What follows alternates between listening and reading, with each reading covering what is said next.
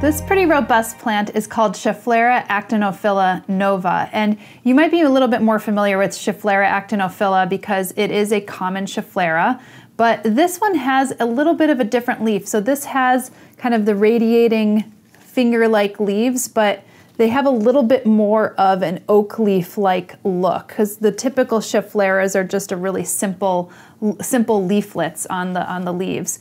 I am actually not certain a little bit more of the history of this one. I've learned that this is a little bit more of a cultivar or a subspecies, and it's not its own species, although some people have claimed that it should be its own species.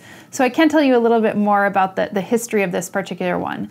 What I can tell you is that I've been growing this for about five years, and it's one of those plants that I liked so much that I had to get a second one. So I have two of them growing uh, near my northeast facing window, but not like really in my windowsill. So they're a little bit further away.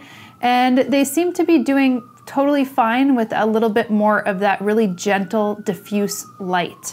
And I have noticed, however, that one of them ended up getting some mealy bugs. It's not as if the plant was in stress or any way, but I think basically what happened was my pothos had mealy bugs, and the mealy bugs eventually got onto one of my other plants. So um, I have been dealing with a little bit of mealy bugs with my other Schefflera, but otherwise they've been relatively pest free.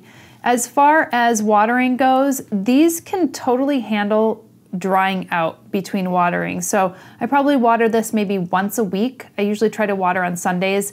And again, this is not in any kind of intense light. I would imagine that this one can um, um, could manage a little bit of brighter light conditions. So I would say anything from uh, higher on the lower light end of the spectrum to bright light, maybe screened, is going to be perfect for this plant because it has a little bit of a meteor, kind of coriaceous, rubbery kind of leaflet.